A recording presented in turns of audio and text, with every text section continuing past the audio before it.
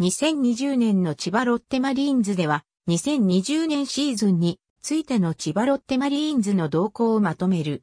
チームスローガンは、突破。この年の千葉ロッテマリーンズは、井口忠人監督体制の3年目のシーズンである。1月19日に1971年に東京オリオンズから球団を買収して、以来49年間にわたり球団オーナーを務めた重光武夫が大韓民国ソウル特別市の病院にて老衰のために死去した。戦力面では FA 権を行使していた美馬学と福田周平を獲得。さらに阪神タイガースを退団した鳥谷隆2018年まで広島東洋カープに在籍していた J. ジャクソンと契約した。また酒市氏が美馬の人的保障として鈴木大地が FA、涌井秀明が金銭トレードでそれぞれ楽天へ移籍した一方で前日の美馬に加え鈴木の人的保障として小野薫、さらに自由契約となっていたフランク・ハーマン、西巻健二を楽天から獲得するなど、楽天との間に計7選手が動く異例のストーブリーグとなった。ソフトバンクと対戦した開幕戦こそ、サヨナラ負けを喫するも2戦目、3戦目に勝利し、カード勝ち越しを決めると、次カードの対オリックス6連戦では、スイープに成功し8連勝を達成。6月を首位で通過する。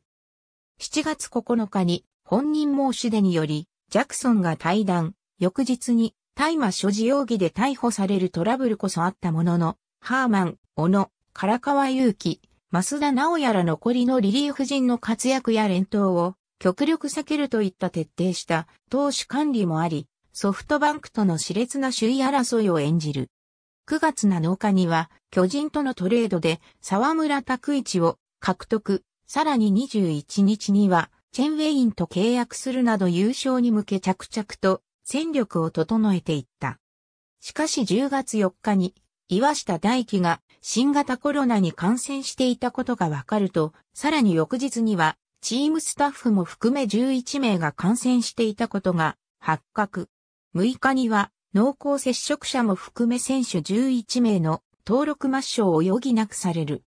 10月9日のソフトバンク戦に勝利した時点で、首位とのゲーム差なしの2位につけていたが、翌10日から12連勝を達成したソフトバンクとは対照的に主力選手を欠いたロッテは調子を落としていき、一時最大9ゲーム差をつけていた西武の猛追にも合い11月4日には3位に転落。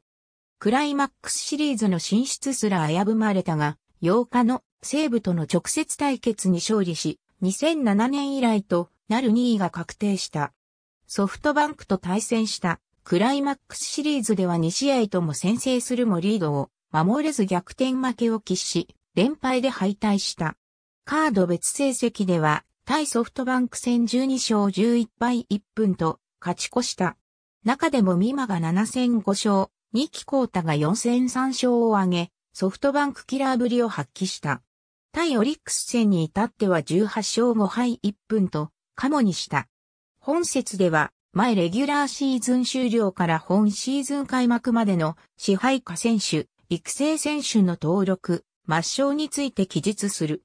なお、抹消の去就は、球団職員または、スポーツ関係、芸能関係の職業に転身した場合と、去就が公のものとして扱われるもののみを記載し、空欄は前述以外の一般職業に転身もしくは、去就不明を示す。また、対談区分は自由契約、任意引退、詳細不明である場合については、記載しない。本節では、本シーズン開幕から終了までの入り対談について、記述する。色付きは規定投球回数以上の選手色付きは、規定打席以上の選手。ありがとうございます。